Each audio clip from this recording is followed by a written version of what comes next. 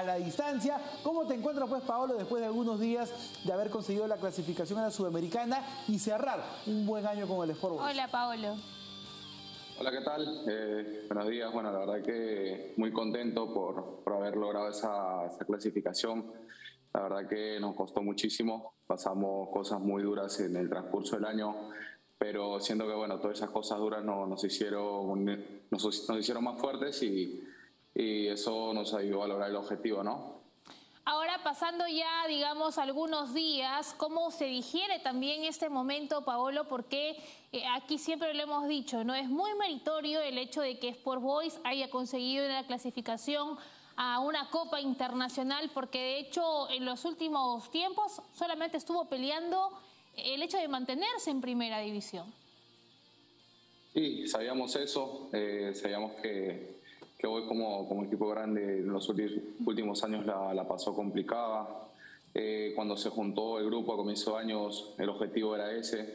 Por momentos, eh, por los momentos complicados que, que, nos tocaba atravesar, a veces uno, uno llega a dudar de lo que se pueda, pueda lograr, pero como te digo, la, la unión de este grupo fue que, que, nos ayudó a sacar adelante este, ese, ese objetivo, esa meta y, y la verdad que hoy muy feliz, muy contento de, de podernos haber metido en la, en historia de este, este, gran club, ¿no?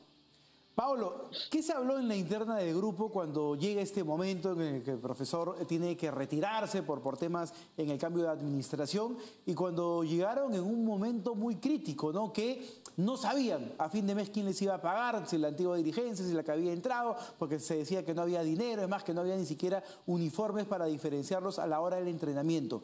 ¿Quién fue el que tomó la batuta? ¿Quiénes hablaron en la interna del grupo? Porque era un voice que estaba encaminado. Y la verdad hubiera sido eh, muy triste ¿no? que este proyecto o lo que se había logrado en esa campaña eh, se vaya por la borda simplemente por temas dirigenciales. ¿Quién hablaba en el grupo? ¿Quién los motivaba? No, bueno, eh, cuando, cuando, cuando sale el profesor Álvarez, este, el profe Ítalo fue bueno, el que, que agarró este, el equipo. Eh, ahí fueron importantes los líderes en el grupo, ¿cierto? Que eso fue, fue trascendental, nos guiaron de, de, la mejor manera. Y la verdad que siento que cuando hay un grupo, cuando se junta un grupo con, con muchas ganas de trascender, eh, como fue hoy este año, siento que, que, pasan estas cosas. La verdad que, como te digo, estos momentos complicados fue cuando cuando el equipo salía a entrenar y se entrenaba de la mejor manera, a pesar que, que estaba con deudas, a pesar que por ahí estábamos en ese momento eh, sin el técnico. Y el grupo salía siempre con una sonrisa, siempre a, a pechar la situación y, y, eso ha sido factor clave para, para lograr ¿no? Eh, el sueño de, del Callao y de todos nosotros. Así es, y por ello también te consulto si es la primera vez que te pasa, digamos, luchar prácticamente toda una temporada eh, en momentos difíciles, ¿no? Sobre todo con un club que, bueno, sí, es cierto, a nivel dirigencial tenía problemas y a veces es difícil poder concentrarse en lo que uno puede dar jornada a jornada, partido a partido, porque incluso aquí también lo hemos comentado junto a Sergio, a veces pasa que cuando hay cambios de técnico en tan corto tiempo, eso termina afectando el funcionamiento y eso, sin embargo, no, no se vio reflejado en este plantel. ¿Cómo, ¿Cómo hiciste tú, Paolo, desde tu perspectiva para poder sobrellevar todo eso? Eh, bueno, fue, bueno, lo menos, bueno, el tema económico, la verdad que, bueno, fue la primera vez que, que atravesó una situación así, pero, bueno, lo personal también, aunque no, uno trata de, de disfrutar de todo, todos esos momentos, ¿no? Porque claro. por ahí estás, tienes un vacío por ahí en el lado, ¿no? Este, económico, por ahí por lo que no, no, no estaban cumpliendo, pero llegabas al entrenamiento y lo que compartías con, con, los compañeros, la verdad que era impresionante y sentías que, que por ahí no, no, faltaba nada, aunque, aunque haya aunque el, el, mundo esté ardiendo en llamas al costado de nosotros por, por, toda la situación, ¿no?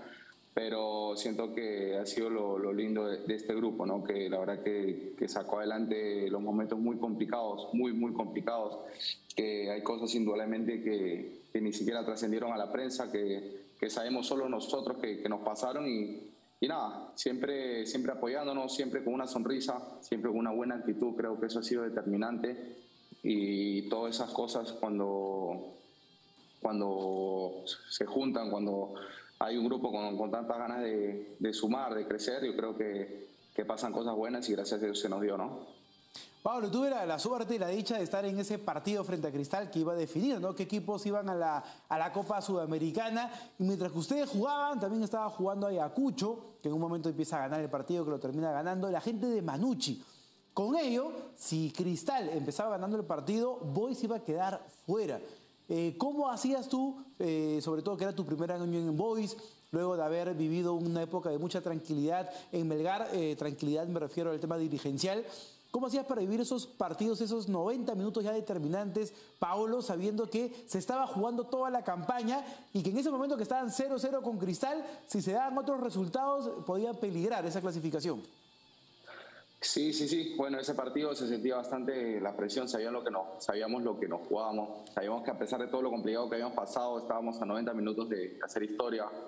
Y nada, como te digo, sentía bastante presión, eh, pero bueno, con el compromiso de mis compañeros, eh, sacamos adelante ¿no? ese partido. Sabíamos que algunos tramos del partido se iba a sufrir, porque Cristal es un gran equipo y por más que cambien algunos nombres, es un equipo que sabe lo que juega, que tiene una, una plantilla muy amplia, muy buenos jugadores.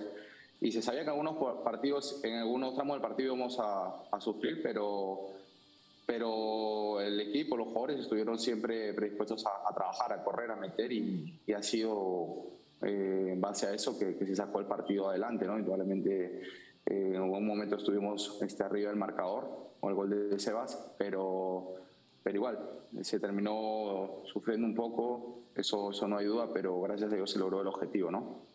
Ahora, Paola, también permíteme preguntarte por lo que se viene la siguiente campaña para ti. ¿Aún tienes contrato con Boys? Y si no es así, ¿hay ya algún tipo de conversación? Eh, no, ahora yo estoy libre. Ahora yo estoy libre. Acabo mi contrato con, con Boys, ese, el partido contra Cristal. Eh, ahora, bueno, gracias a Dios hay posibilidades. Eh, Boys también estoy está negociando para, para, ver el tema de mi renovación. Y nada, eh, analizando y ver qué es lo mejor para uno el año que viene, ¿no? La verdad que sería lindo quedarme en Boys también porque, bueno, es un equipo al cual, este, por las cosas vividas y por lo que claro. se consiguió, uno, uno llega a agarrarle cariño. Así que hoy por hoy Blue Boys tiene la prioridad. Así que a esperar, a esperar en el transcurso de estos días, yo creo que va a estar definiendo mi futuro ya. ¿Y de qué va a depender eh, esa renovación, Paulo?